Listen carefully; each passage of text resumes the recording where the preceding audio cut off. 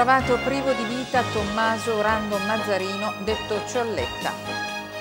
Caso di pedofilia a Trapani, arrestato un bidello. Arrestati a Castellammare due giovani ladri. Altra giornata difficile per il deposito dei rifiuti di Velice Ambiente. A Mazzara arrivano contributi e assistenza per anziani e affetti da SLA. Torna a Salemi la tradizionale festa di San Giuseppe.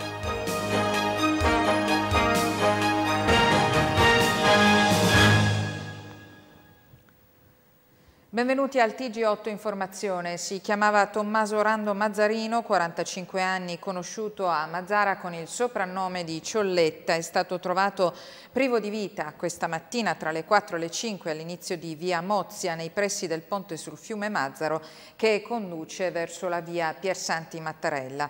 L'uomo è stato trovato steso per terra da un passante che ha avvertito la polizia. Dai primi accertamenti effettuati sembra che le cause del decesso siano da attribuire a un malore dovuto alle sue precarie condizioni di salute. Da tempo l'uomo, che era un tossicodipendente pregiudicato per reati patrimoniali, era stato visto molto dimagrito. Nel mese di dicembre del 2008 era stato arrestato anche per evasione dagli arresti domiciliari ed era rimasto nel carcere di Marsala per qualche mese. Il cadavere dell'uomo è stato trasportato presso l'obitorio del cimitero dove il medico legale dovrà accertare le cause del decesso. In manette a Trapani un bidello accusato di avere compiuto atti sessuali nei riguardi di un'alunna di quarta elementare frequentante la scuola in cui l'uomo prestava servizio. Sentiamo i maggiori dettagli nel nostro servizio. I carabinieri della compagnia di Trapani hanno tratto in arresto un operatore scolastico, un bidello, di un istituto primario di una frazione del capoluogo. L'uomo, 59 anni di Trapani ma residente in provincia, è ritenuto responsabile di avere compiuto in diverse circostanze atti sessuali nei confronti di una alunna di quarta elementare. La complessa attività di indagine coordinata dalla Procura di Trapani è scaturita a seguito della segnalazione effettuata presso un comando stazione carabinieri dai genitori della bambina, ai quali la piccola aveva descritto le particolari attenzioni che l'uomo le aveva più volte dedicato. Gli uomini dell'Arma hanno quindi dato inizio ad un articolato quanta delicata attività investigativa svolta anche con l'ausilio di sofisticate apparecchiature di ripresa audio-video finalizzata ad appurare le reali responsabilità dell'impiegato. Nella tarda mattinata di ieri l'uomo è stato sorpreso mentre, approfittando di un momento di particolare tranquillità, Dopo aver eseguito la vittima nell'antibagno, ha afferrato la bambina palpeggiandola e baciandola ripetutamente. Il tempestivo intervento dei carabinieri ha posto fine al deplorevole comportamento dell'operatore scolastico, immediatamente dichiarato in arresto e condotto presso gli uffici della compagnia carabinieri di Trapani. L'uomo è stato successivamente tradotto presso la casa circondariale San Giuliano. Furto con scasso nella notte nel rifornimento esso di via Marinella Castelvetrano. Ignoti hanno lanciato a folle velocità la loro auto contro la saracinesca della rivendita di tabacchi, rompendo anche il vetro interno della porta. In pochi minuti hanno portato via liquori, sigarette, gratte vinci e pare anche soldi che erano nella cassa. Il danno sembra ammontare a 10.000 euro. Dalle immagini si nota un'auto station wagon di grossa cilindrata cilindrata che a marcia indietro ha urtato la saracinesca creando così un varco che ha consentito ai tre banditi di entrare e fare razzia. Sul posto i carabinieri di Castelvetrano per le indagini. Fermati ieri pomeriggio a Castellammare del Golfo, due giovani ladri palermitani avevano trafugato merce da un supermercato. Sentiamo. Ieri pomeriggio sono stati sorpresi e fermati due giovani palermitani nel tentativo di dileguarsi dal supermercato denominato Spaccio Alimentare di Castellammare del Golfo con un bottino del valore di 300 euro circa, numerosi prodotti cosmetici, refurtiva che probabilmente gli stessi intendevano rivendere al miglior offerente. Il personale addetto al supermercato ha notato lo strano atteggiamento dei due ed insospettitisi che gli stessi potessero aver trafugato qualcosa all'interno del supermercato, immediatamente hanno richiesto l'ausilio dei carabinieri. Sono intervenuti i militari della stazione di Castellammare del Golfo che dopo un breve inseguimento a piedi riuscivano a fermare i due malviventi e a recuperare la refurtiva. Inoltre, visualizzate le riprese dell'impianto di videosorveglianza all'interno del supermercato, si poteva appurare che con grande destrezza avevano nascosto la refurtiva all'interno di una sacca nera con la quale si era allontanato uno dei due non passando per le casse, mentre l'altro aveva effettuato l'acquisto di generi di modesto valore per non dare nell'occhio. I carabinieri hanno proceduto immediatamente all'arresto in flagranza per furto aggravato di Francesco Mertoli, classe 1994, e Dionisio Mertoli, classe 1990, palermitani in trasferta e gravati da precedenti analoghi. Gli arrestati venivano poi ristretti temporaneamente in camera di sicurezza a disposizione dell'autorità giudiziaria in attesa del giudizio direttissimo, svoltosi nella mattinata odierna con convalida dell'arresto e sottoposizione ai domiciliari. I carabinieri della stazione di Valderice hanno arrestato Gaspare Bonanno, 28enne ericino, in esecuzione dell'ordinanza di custodia cautelare in carcere emessa dal GIP presso il Tribunale di Trapani. Il giovane, già noto alle forze dell'ordine, ritenuto responsabile con un altro complice ancora non individuato di due furti in abitazione a Valderice il 6 e l'8 settembre del 2014. In entrambi gli episodi i due presunti ladri approfittando approfittando dell'assenza dei proprietari di casa, si erano introdotti nelle abitazioni delle vittime e avevano rubato orologi, gioielli e denaro contante. L'arrestato è stato rintracciato e bloccato mentre faceva rientro a casa, quindi una volta dichiarato in arresto è stato trasferito presso la casa circondariale San Giuliano. Assolto il boss mafioso Francesco De Vita, il boss, il cui nome ai tempi dell'arresto compariva nella lista dei 100 latitanti più pericolosi, era accusato di un omicidio e di due tentati omicidi. Sentiamo.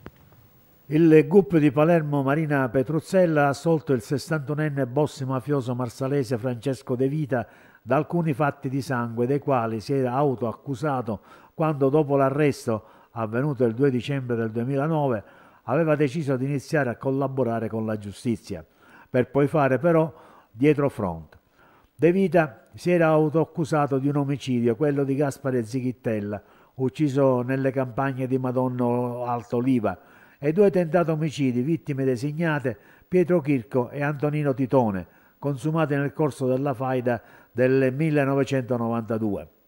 Ma adesso il GUP Petruzzella, a conclusione del processo con rito abbreviato lo ha assolto da quei reati, condannandolo comunque per associazione mafiosa in continuazione con la pena dell'ergastolo ormai definitiva che il De Vita sta scontando per mafia e per l'omicidio di Giovanni Zichittello ucciso a Marsala nella zona di Porticella il 15 giugno del 1992. Di quel gruppo di fuoco avrebbero fatto parte anche Vincenzo Sinacori e Antonino Gioè, e in versione di registi del comando anche Gioacchino La Barbera e Leoluca Bagarella. Giovanni Zichittella, detto Vanni, anziano pastore, era padre dell'ex affiliato a Cosa Nostra e poi stiddaro Carlo Zichittella, che successivamente perse la guerra con la locale famiglia mafiosa decise di collaborare con la giustizia.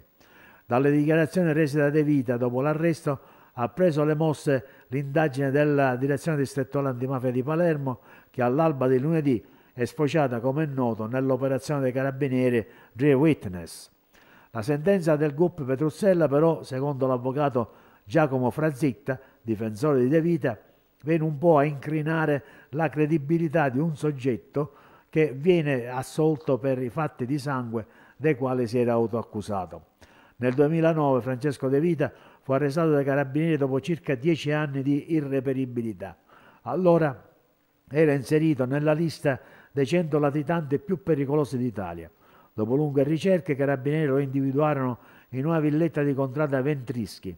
A De Vita l'ergastolo fu inflitto nell'ambito del processo Patti più 40, scaturito dall'operazione di Libeo del 1 aprile 1993, che vide finire in carcere 50 persone accusate di avere partecipato direttamente o indirettamente alla guerra del 1992. L'indagine sulla società informatica Sicilia e Servizi, che faceva capo all'ex presidente del libero consorzio di Trapani Antonio Ingroia, non sarà archiviata contro ignoti. A deciderlo il GIP di Palermo, che al contrario ha chiesto nomi e cognomi il servizio. Il GIP del Tribunale di Palermo ha respinto la richiesta di archiviazione contro ignoti dell'indagine su Sicilia e Servizi, la società che gestisce i servizi informatici della Regione Sicilia, ordinando alla Procura di indagare i presunti responsabili dando loro un nome e un cognome. Tra i soggetti individuati dalla Guardia di Finanza, dal cui rapporto il giudice Lorenzo Matassa ordina di estrapolare i nomi delle persone da indagare, ci sono il presidente di Sicilia e Servizi, l'ex PM Antonio Ingroia e il governatore siciliano Rosario Crocetta. Nel mirino una serie di assunzioni effettuate in violazione delle norme che bloccano le immissioni in servizio nella pubblica amministrazione. La Procura deve adesso dare seguito all'ordine del giudice. Il rigetto della richiesta di archiviazione e il conseguente ordine di indagare noti riguarda pure Mariano Pisciotta, rappresentante dell'organismo di controllo di Sicilia e Servizi, gli assessori in carica a dicembre 2013, l'epoca dei fatti, Antonino Bartolotta, Ester Bonafede, Dario Cartabellotta, Nelli Scilabra, Michela Stancheris e Patrizia Valenti. L'accusa contro Ingroia muove dal fatto che da commissario liquidatore l'ex procuratore aggiunto di Palermo stipulò contratti con 75 dipendenti della SISEV, società privata satellite dell'azienda pubblica. Si sarebbe trattato di assunzioni mascherate nella pubblica amministrazione, effettuate in violazione delle regole che prevedono le immissioni in servizio nel pubblico e il blocco in questo settore, disposto per ragioni di spending review. Altra giornata difficile per gli 11 comuni del lato TP2 Belice Ambiente perché non sanno dove poter scaricare i rifiuti. Questa mattina alcuni mezzi sono partiti dalle sedi delle città per raggiungere la discarica di Borranea su ordine del commissario straordinario del lato TP2 Sonia Alfano, ma sono stati bloccati nei pressi della discarica dai vigili urbani di Trapani per non farli avvicinare al cancello della struttura di Borranea. Non si capisce perché i mezzi siano stati fatti partire se a Boranea non si può scaricare perché l'ordinanza del sindaco di Trapani, Vito Damiani, è molto restrittiva e richiama due articoli di legge che chiudono ogni possibilità per altri comuni di poter scaricare. Occorrerebbe la messa in atto di una disposizione regionale a firma del governatore che imponesse l'apertura della discarica anche ad altri comuni. Intanto negli 11 comuni i contenitori dei rifiuti sono già colmi, i sacchetti di spazzatura sono per strada e i mezzi di raccolta sono carichi di residui solidi urbani dalla raccolta di domenica e lunedì. Il consigliere comunale di Mazzara del Movimento 5 Stelle, Nicola Lagrutta, in una interrogazione rivolta al sindaco, chiede chiarimenti sulla installazione di una centrale solare termodinamica nel territorio di Mazzara del Vallo. Nella interrogazione viene spiegato che nel comune di Mazzara e precisamente in località Carcitella è prevista la realizzazione di una centrale di produzione di energia elettrica a tecnologia solare termodinamica da parte della ditta Insolation SRL SRL con sede a Palermo. La Grutta rileva che il territorio ha una vocazionalità per l'installazione di questa tipologia di impianti. Chiede di conoscere la tipologia specifica di impianto che l'impresa proponente intende realizzare e nello specifico il tipo di fluido termovettore che si intende utilizzare per ridurre al minimo il rischio di incidenti potenzialmente pericolosi per gli operatori dell'impianto e per il terreno. È stata presentata dal consigliere del Movimento 5 Stelle di Campobello di Mazzara, Tommaso Di Maria, un'interpellanza al sindaco che ha per oggetto divorzio semplificato. Nell'interpellanza pertanto si chiede al sindaco se è intenzione dell'amministrazione predisporre tutti gli atti necessari al fine di rendere immediatamente disponibile l'istituzione dello sportello per la separazione e i divorzi così come disposto dalla legge. A Marsala si respira aria di elezioni. Con tutta probabilità la città andrà al voto durante i primi giorni di maggio e in questa atmosfera il panorama politico lilibetano va sempre più delineandosi. Sentiamo. Non c'è ancora ufficialità, ma con ogni probabilità Marsala andrà al voto il prossimo 10 maggio, con eventuale turno di ballottaggio il 24. L'assessorato agli enti locali della regione siciliana convocherà a breve comizi. All'inizio si credeva che sarebbe stato l'ultimo fine settimana di maggio, quello buono per le elezioni, anche perché alla regione c'è la grana della finanziaria da approvare entro fine aprile e invece sembra che abbia prevalso la voglia di evitare il gran caldo di giugno per delle elezioni molto delicate poiché coinvolgono non solo Marsala ma anche Gele e Agrigento dove il Partito Democratico si è alleato con Forza Italia. Questo anticipo sui tempi significa che entro fine marzo tutto deve essere definito e ormai mancano pochi giorni.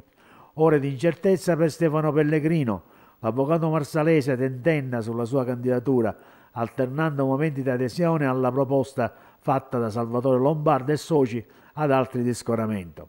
Per quanto riguarda il Partito Democratico, verrà presto il segretario regionale del PD Fausto Raciti a sancire la candidatura di Alberto Di Girolamo, mettendo così a freno polemiche e tensioni interne.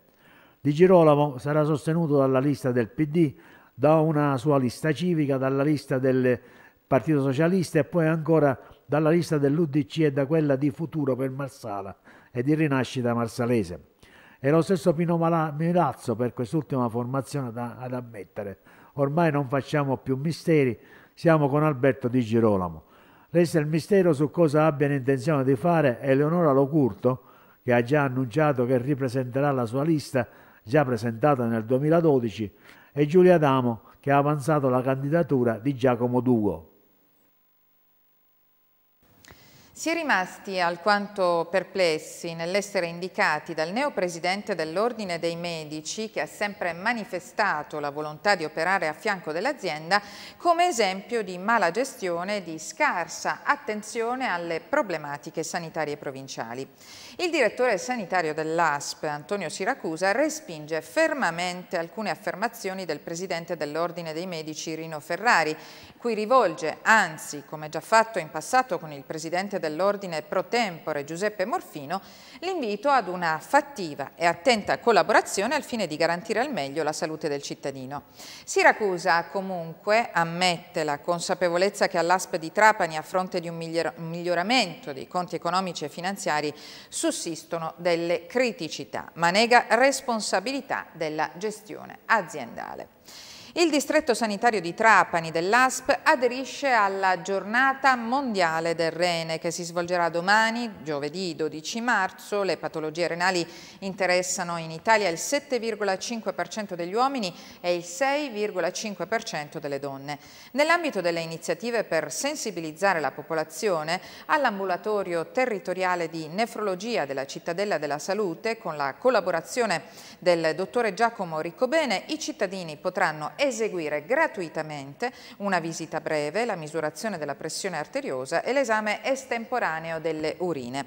L'ambulatorio sito al primo piano sarà aperto dalle 8.30 alle ore 13 e dalle 15 alle 17. Legge sul personale degli enti pubblici. I sindacati proclamano lo sciopero per il prossimo 20 marzo il servizio. I sindacati dicono no al testo del DDL di stabilità 2015 sul tema del pubblico impiego. Il testo è stato respinto con forza e si vuole passare subito allo sciopero previsto per il 20 marzo. Di recente Cobas, Codir, Sadirs, SIAD, FPCGL, CISL FP, UIL FPL, UGL ed IRSI sono stati convocati a Palazzo d'Orlean, ma la rottura con il governo regionale è stata netta.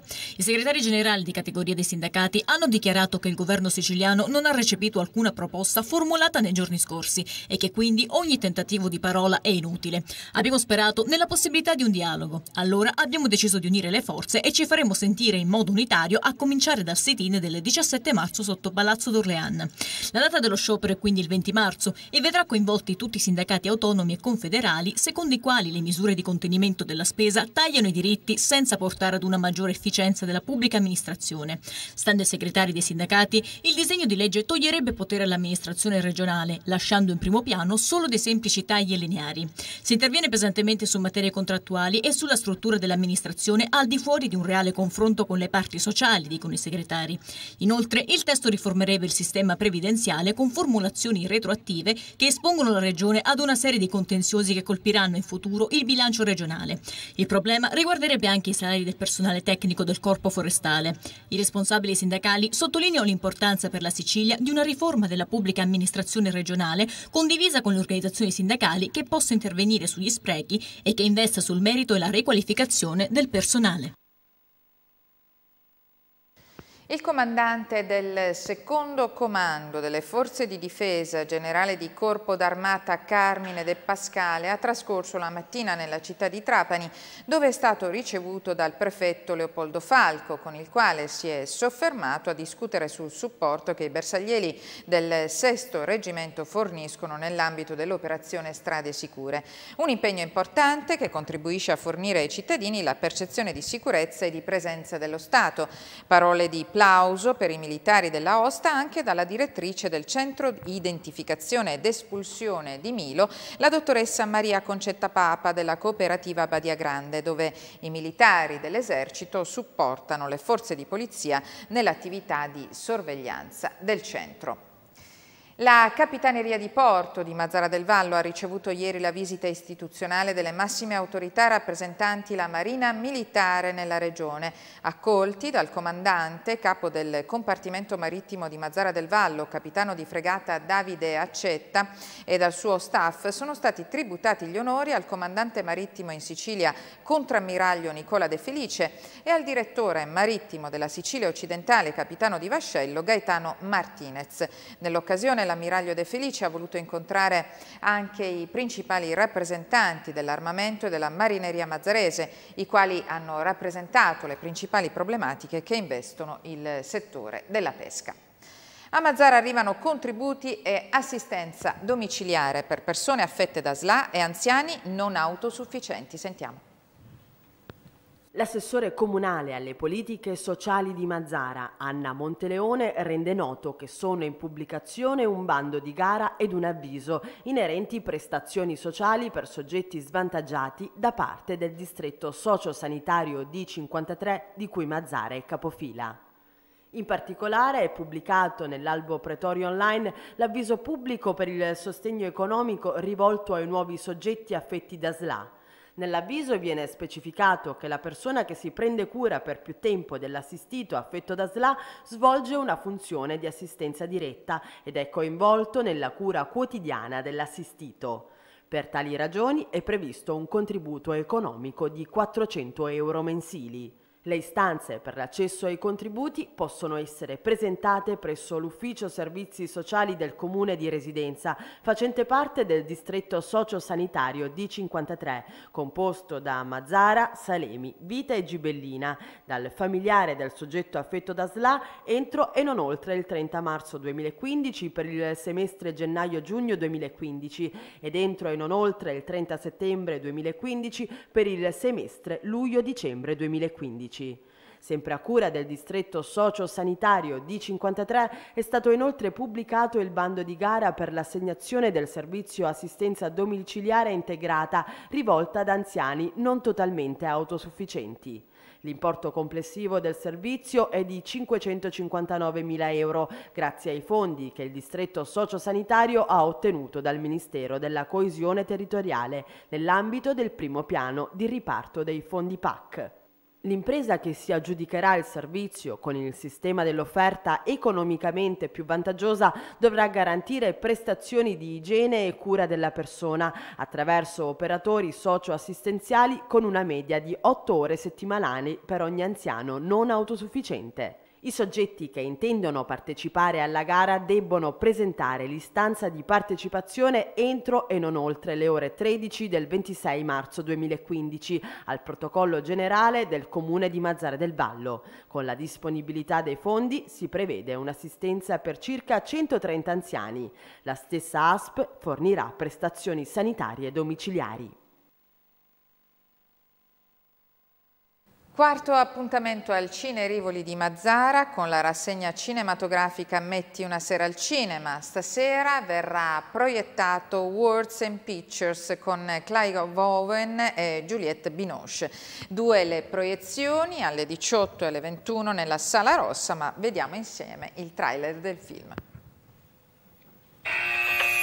Guardatevi, twittate gli amici per dire cosa? Ho mangiato uno yogurt? Sì, Tammy. Non ha corretto i nostri ultimi tre compiti. Che frase monotona e laboriosa.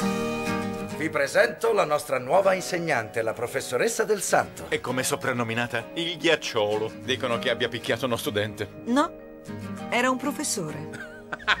In questo corso ci interessa ciò che possiamo definire belle arti. Le parole sono menzogne, le parole sono trappole. Ecco una parola per lei. Arroganza. Ed ecco un'immagine.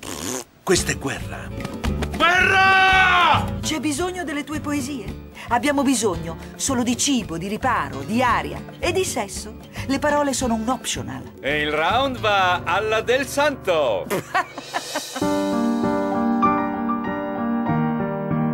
Eri la nostra star letteraria. Che differenza fanno le mie pubblicazioni? Una grande differenza. Hai reso facile perdonare i tuoi difetti. Vogliono licenziarmi. Puoi pensare a una cosa carina da dire su di me? Sono senza parole.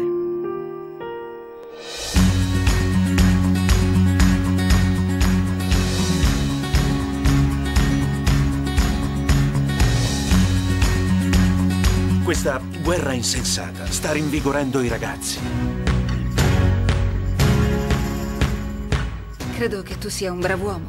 Non lo sono, ma sono un bravo insegnante.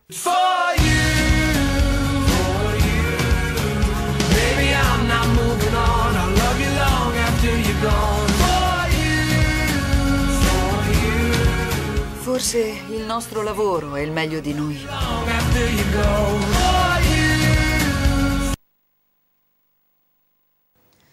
L'area marina protetta Isole Egadi sarà presente a Fa la Cosa Giusta, la fiera nazionale del consumo critico e degli stili di vita ecosostenibili, giunta ormai alla sua dodicesima edizione che si svolgerà a Milano dal 13 al 15 marzo. La presenza alla importante manifestazione sarà garantita dalla collaborazione con Lega Ambiente che ospiterà nel suo stand l'area marina protetta presso l'area welfare territoriale nel padiglione 4 di Fiera Milano City. Come da tradizione, anche quest'anno Salemi tornerà a festeggiare San Giuseppe, una festa all'insegna della tradizione ma anche di nuove e interessanti iniziative. Sentiamo. Riti secolari, antiche tradizioni, degustazioni, ma anche mostre, musica e incontri. Torna a Salemi dal 14 al 22 marzo la tradizionale festa di San Giuseppe, che quest'anno si arricchisce con un programma pieno di iniziative. Alle antiche celebrazioni la festa aggiunge un calendario di eventi nel segno della contemporaneità, come recita lo slogan dell'edizione di quest'anno, contemporanea tradizione, con i concerti in Piazza Alice di Sicily Brass Quintet sabato 14 marzo e De Matrimia sabato 21 marzo e laboratori didattici dedicati alla simbologia dei pani e delle cene, rivolti alle scuole del territorio ma anche ai visitatori che potranno assistere alla preparazione del, del pane in Piazza Libertà e in Piazza Dittatura e alla costruzione della cena di San Giuseppe in Piazza Licia. Dopo l'anteprima della festa con la rassegna di documentari Mietiture Doc, da sabato prossimo il programma entra nel vivo. La festa di San Giuseppe, ha detto il sindaco di Salemi Domenico Venuti, è un momento importante di condivisione per la nostra comunità, che in questo periodo si immerge completamente nell'atmosfera delle celebrazioni e nell'elaborazione artistica del pane. Non esiste sviluppo se non si proteggono le tradizioni gli altari di pane di Salemi costituiscono uno dei grandi tesori artigianali della Sicilia. Saranno dieci gli altari allestiti nel centro storico di Salemi, in collaborazione con la Chiesa Salemitana, l'associazione cittadina e la Proloco. Domenica 15 marzo alle ore 18 al Costello Normanno Svevo si inaugurerà la mostra Ritualità, tradizione e contemporaneità del pane, a cura di Ornella Fazzina.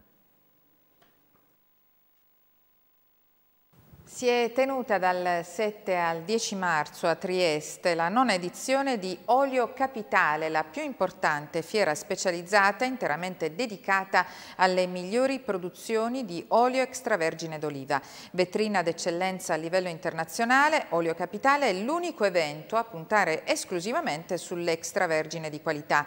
Hanno riscosso ottimi apprezzamenti gli oli biologici di altissima qualità, la nocellara del Belice, provenienti dal territorio territorio del Galelimos che erano presenti con le aziende agricole Centonze e Scalia e Oliva.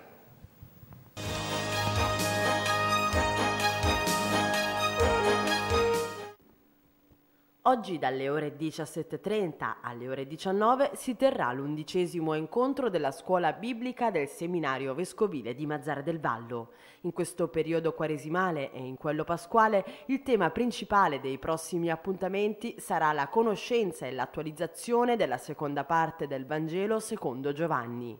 La partecipazione alla scuola è gratuita. Gli appuntamenti formativi si svolgono presso il seminario vescovile nella Piazza della Repubblica 13.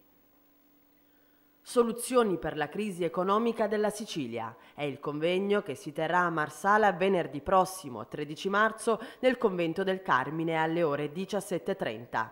L'iniziativa è promossa da Unicusano, Università degli Studi Niccolò Cusano, Telematica Roma. Un fuoriprogramma d'eccezione. Venerdì 20 marzo, in concerto con la sua band a Marsala, arriva Mario Incudine, amato artista siciliano.